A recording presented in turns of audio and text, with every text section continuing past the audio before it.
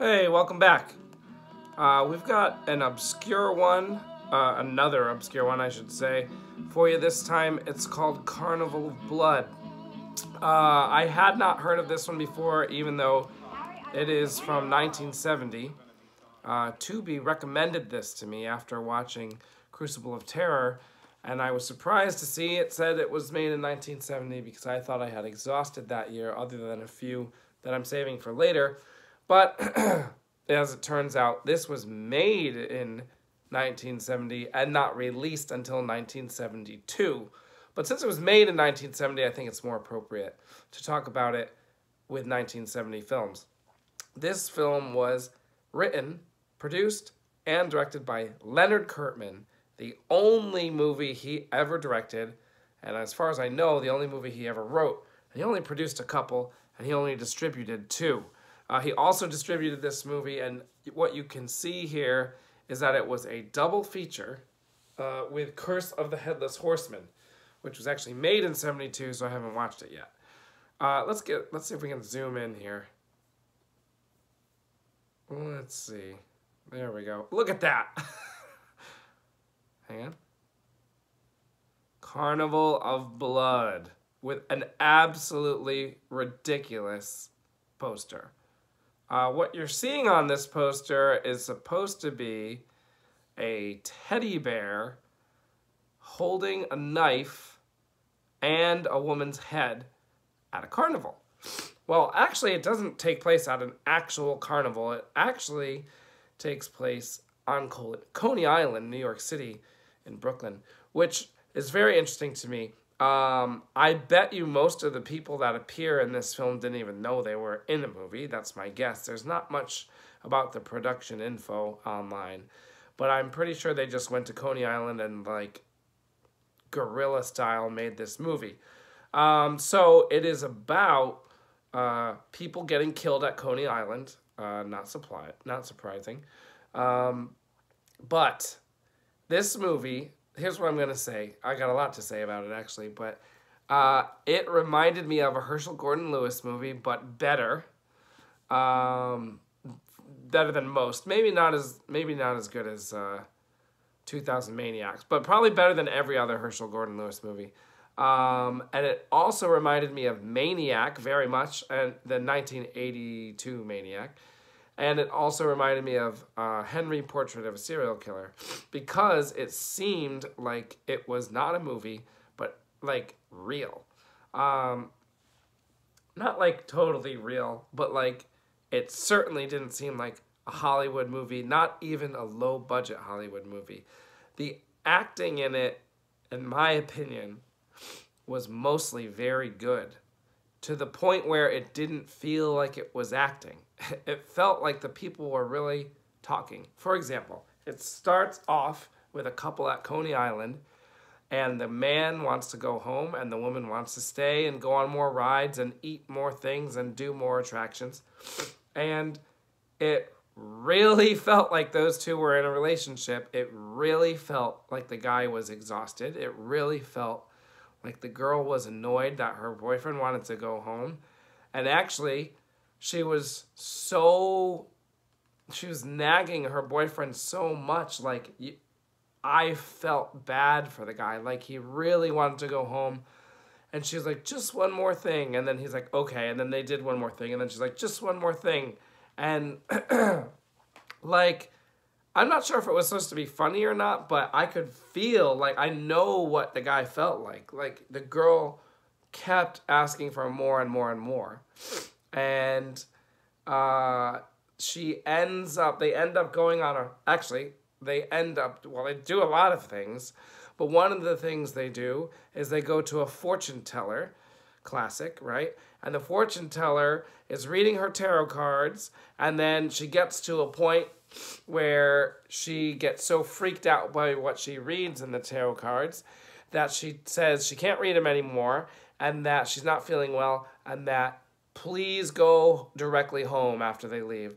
So basically, the psychic can tell that something bad is going to happen, okay?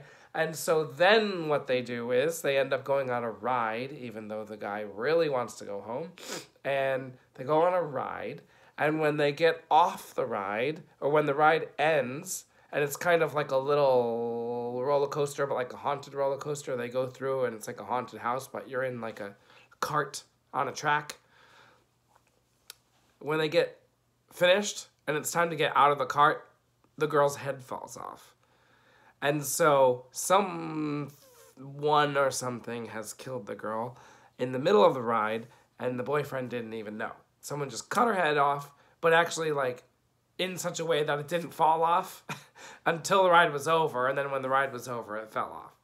Um, so it's pretty gory in parts. Actually, it's very gory, especially for 1970. In fact, if you remove all the Herschell Gordon Lewis films from existence, it's one of the goriest films up to the point, uh, along with uh, I Drink Your Blood. So, like this, I Drink Your Blood, and the Herschell Gordon Lewis films are like the goriest films you could see up to this point. Okay? So, that right there makes it stick out a little bit. Now, this looks, it really feels like, I don't know what the actors got paid but it feels like an extremely low budget film. Like I don't know how much, they probably didn't get any permits to film it. Uh, the actors probably got next to nothing. Um, I mean, it's they the actors barely tried to act, which worked very well because it just felt real. There's other movies out there like uh, you know like uh, those Andy Milligan movies where the acting is so bad that it's hard to watch. This is not like that. It's not even like a Herschell Gordon Lewis film where the acting is bad. The acting wasn't bad.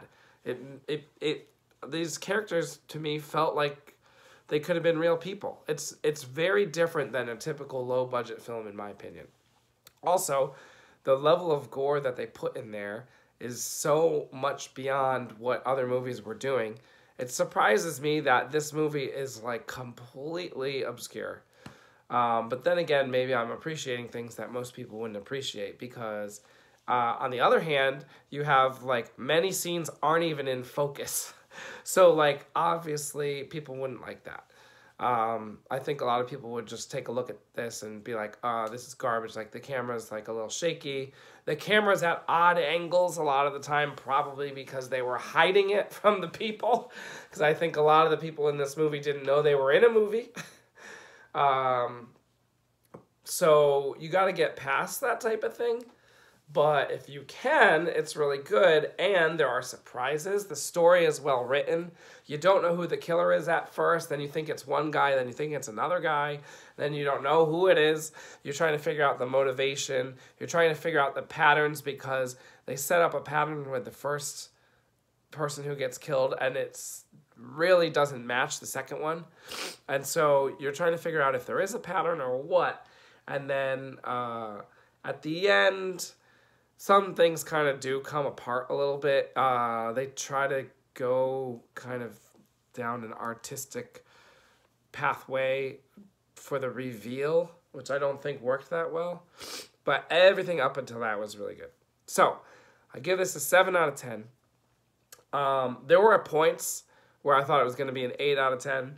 And then the end was like kind of bad, so I had to drop it down. And maybe a 7 out of 10 is a little generous.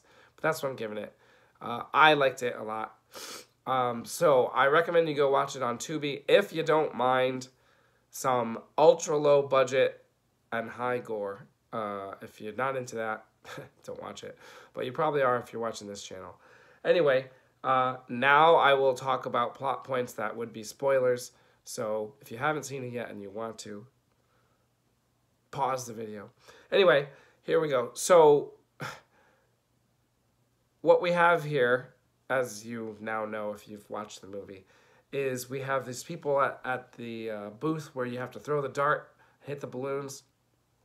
And, uh, oh, you know what? I should have said this. I should have said this before the uh, spoiler warning.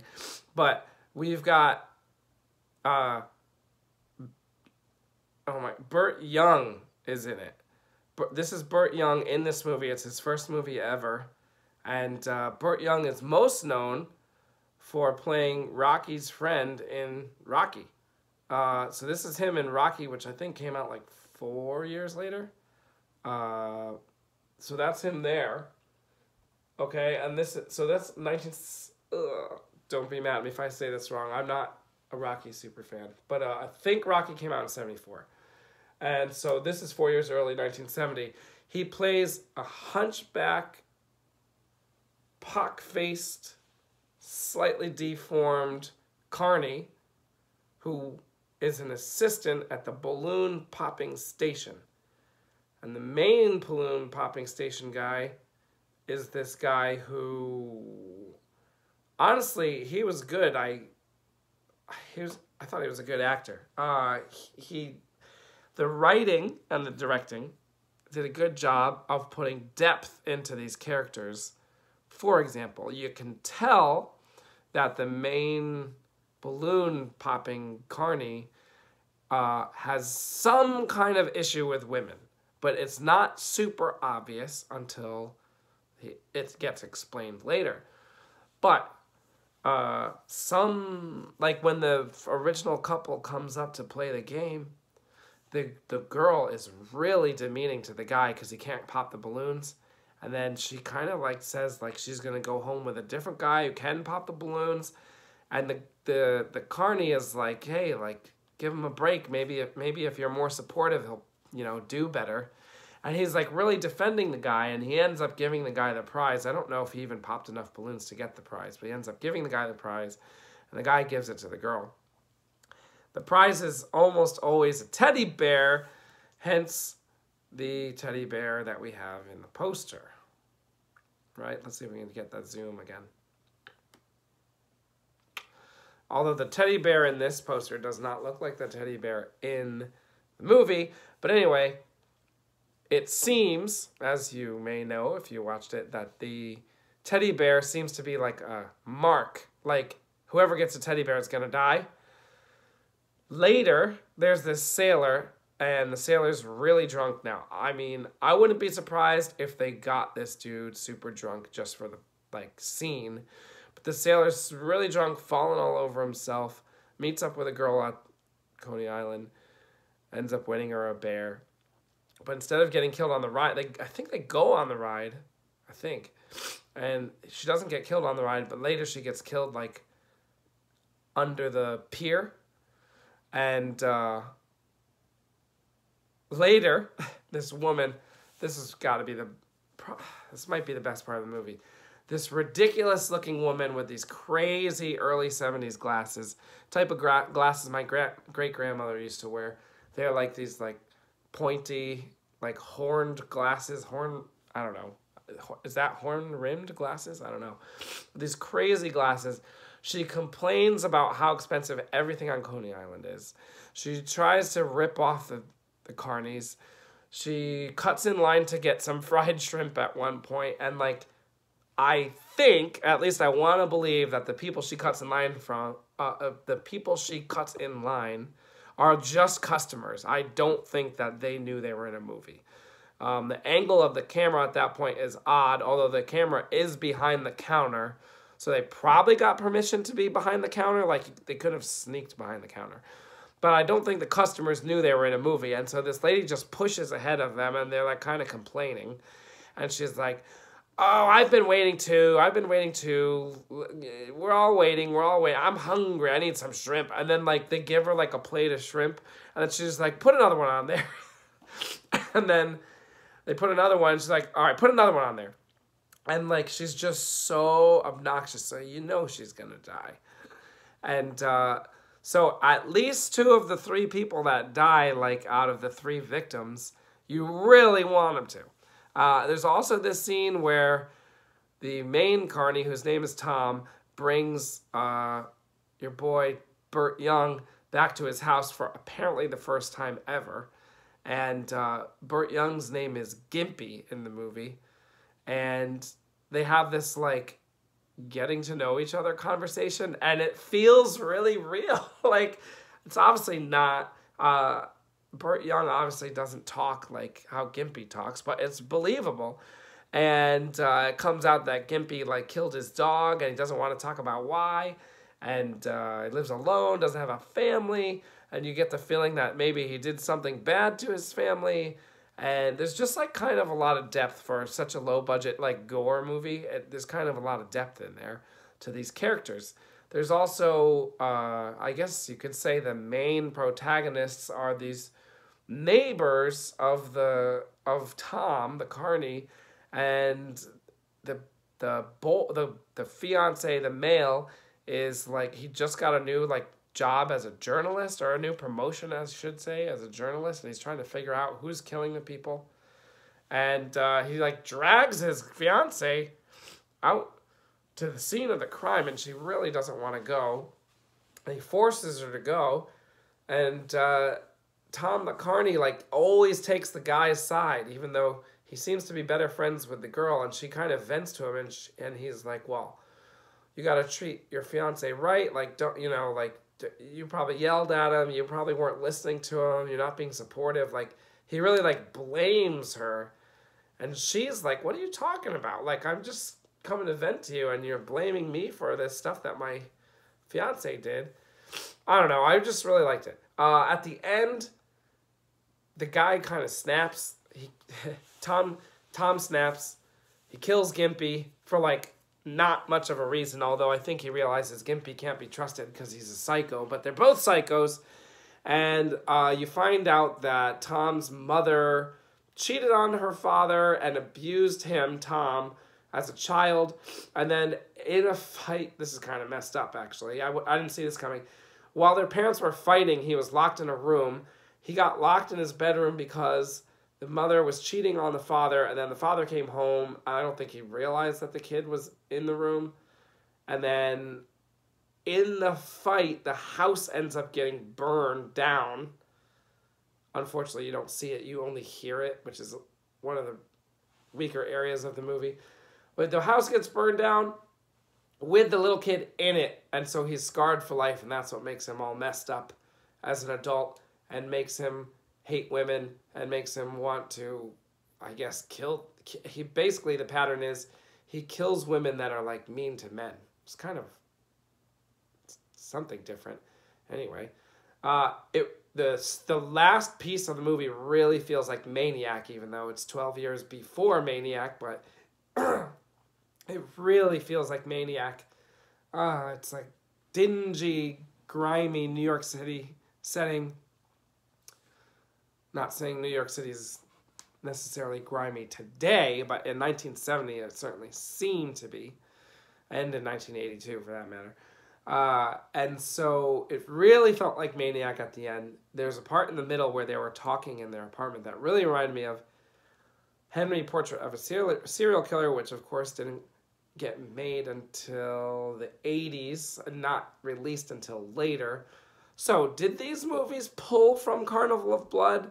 I mean, probably not. I mean, maybe. Maybe Maniac did, because Maniac's New York City, so maybe the people that made Maniac saw Carnival of Blood at like some grindhouse in 1972 and like were influenced by it. Maybe, right? But it's very possible that no one even saw this movie and it did things that more popular movies did later and the other movies get credit for it but actually carnival of blood was doing some of these things all the way back in 1970 so in my opinion it's valuable.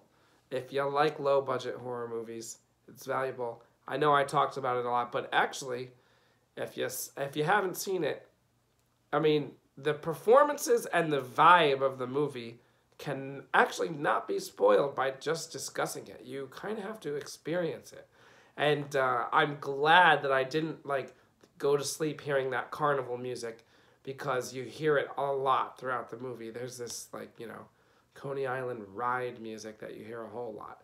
So anyway, I guess that's enough uh, for Carnival of Blood. But this was a pleasant surprise. Ridiculous poster ridiculous movie, copied possibly by accident multiple times later.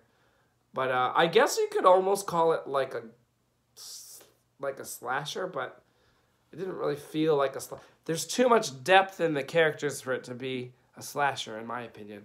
You just know, you just learn too much about the characters for it to be a slasher. Slashers are all gore, little substance, like 90% out of the time. This actually had a lot, quite a bit of substance, considering what a cheapo, almost would say amateur film, but it had a lot of heart. That's not a gore joke, by the way. All right, that's enough uh, for Carnival of Blood. If you made it this far, go ahead and like the video or comment or do subscribe or something like that because we're still trying to get that algorithm to be back in my favor. Because unfortunately, probably very few people are going to see this pushed by YouTube and then they'll never know about Carnival of Blood. And that's very sad. So do what you can to help the algorithm get back to where it was, where 4,000 people were watching this stuff each day. Because then movies like this can be reappreciated by people who would be interested in them. All right, talk to you later.